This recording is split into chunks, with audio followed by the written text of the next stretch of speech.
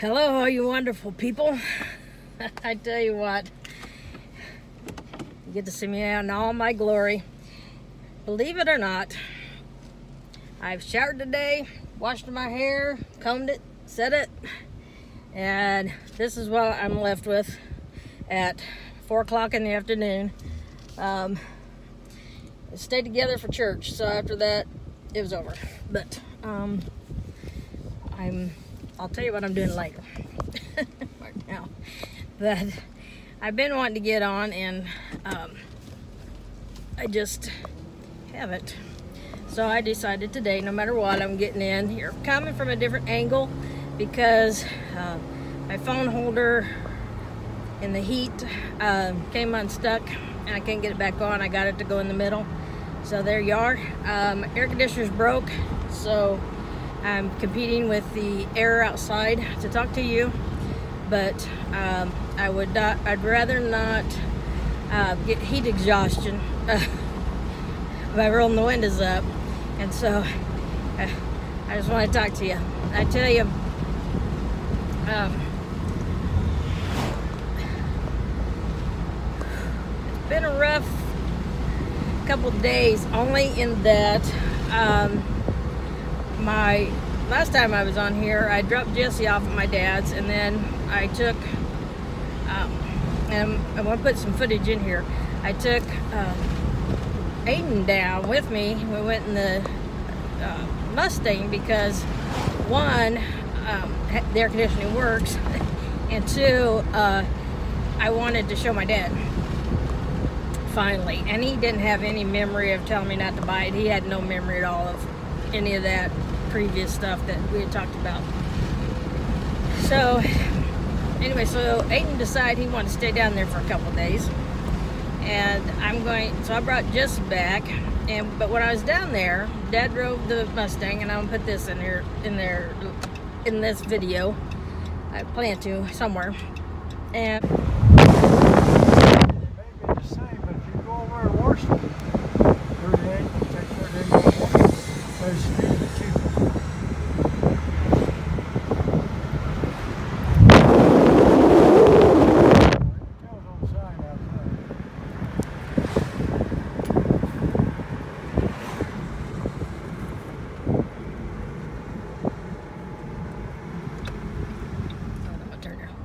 and I also talked to him quite a bit, or he talked to me quite a bit, and he still does the chemo for the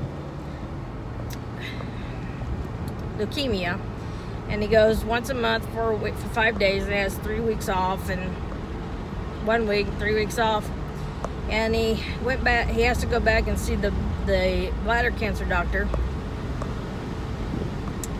every six months or three months or something like that.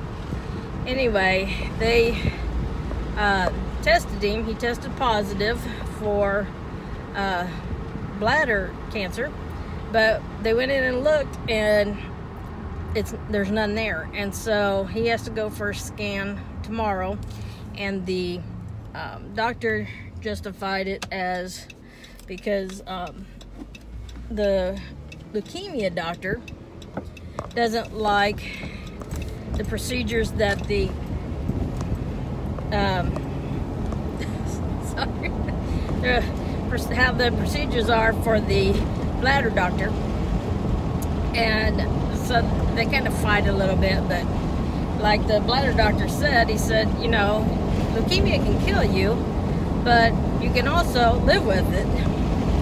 But why go through all this to live with leukemia and all this chemo and die of some other kind of cancer that you're not aware of. And my dad agreed. So tomorrow he's going to go for a scan of his abdomen and they're going to see um, he is he's at a peace that I've never seen him at before. Um, I think that a lot of it has to do with the fact um, that he took took the step um, religiously and I think that's brought him a lot more peace than he ever dreamed it would bring him but he doesn't seem seem nervous. He doesn't seem upset. He doesn't seem worried. Um, I didn't get the feeling that he was trying to keep a stiff upper lip for me. I did not get that feeling at all. It was kind of like, well, this is the way it is, and um, this is what I know and what I don't know. And just kind of left it at that. Never said much, you know, more about it. And so what I'm going to do is, he's really worried about the scan and car breaking down and with Aiden down there and we were going to switch on Tuesday so I'm going to get Aiden tomorrow and on Monday today's Sunday um, and uh, that way he can worry all he wants on Tuesday without having to worry about taking care of anybody so and I'll see if he wants me to go down there and go with him but um, I know what he'll say. Well, I'm not going to find out anything. They're just going to do scan. So, which is true. And so, I don't know. I just don't know what to think anymore. I just honestly don't. Um, my,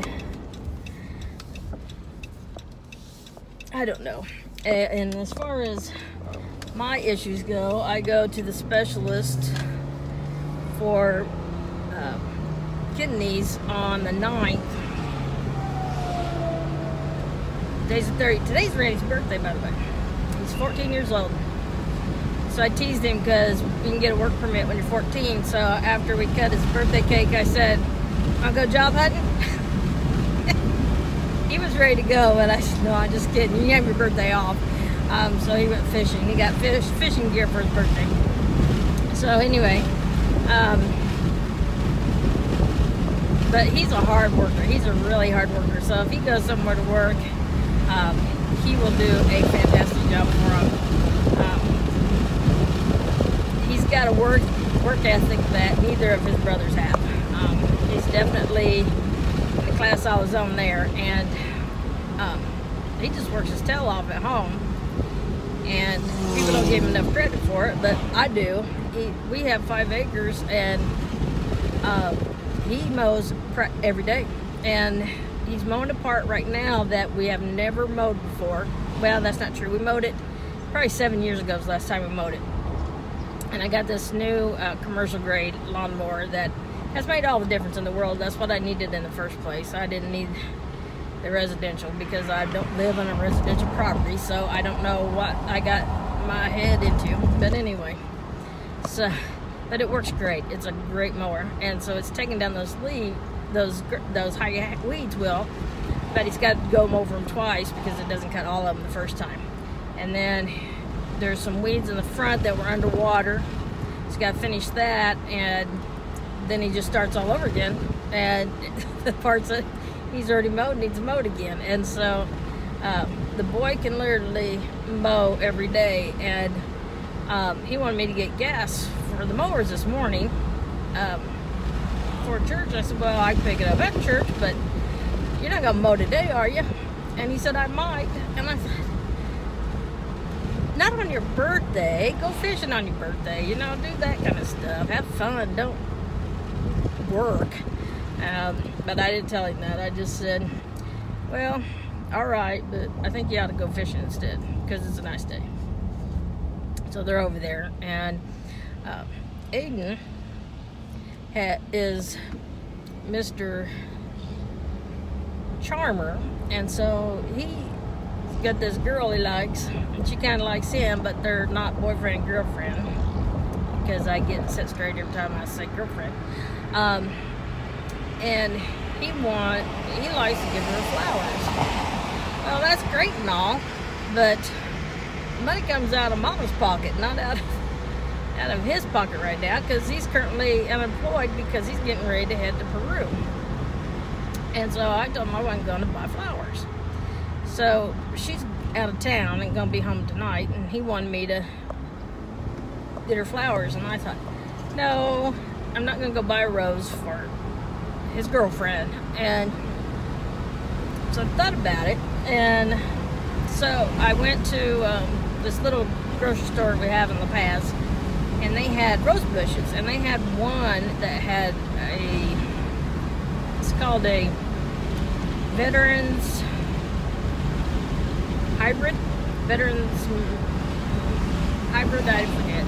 But I can put a picture in there of it. But it was the only one, it had a gorgeous bloom on it. And so I bought that and another rose bush.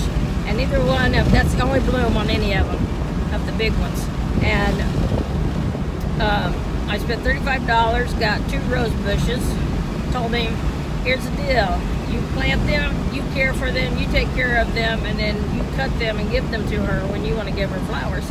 And he agreed to that, especially after he saw the flower, and you'll see the picture, and he just thinks they're gorgeous. And he said, well, it'll mean more if I'm taking care of them and I'm growing them and then I give them away. And I said, true, it will mean more to the girl if uh, that's where we're going.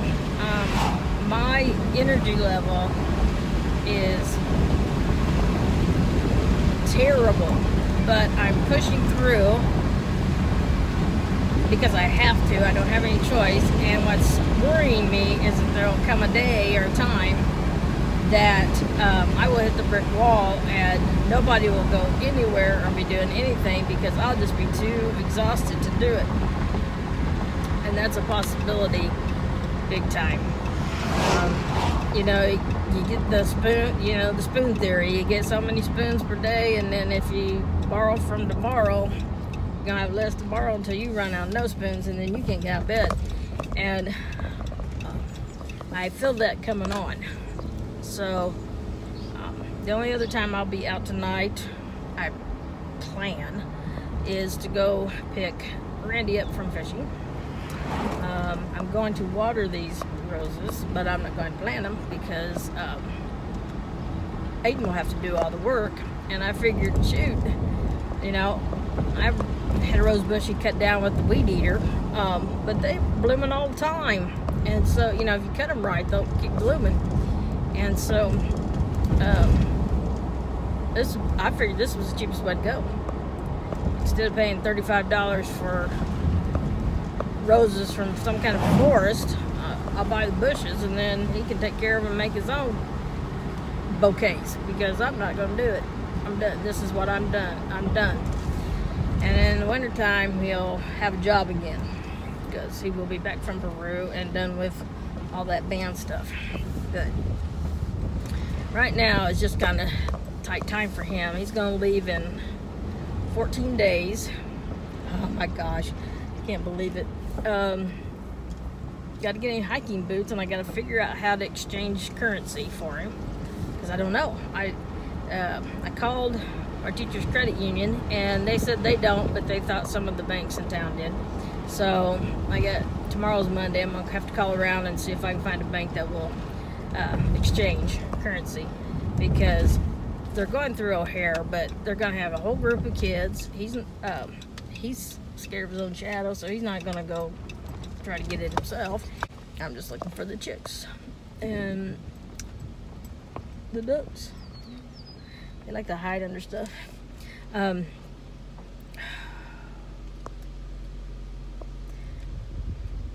kids. Really?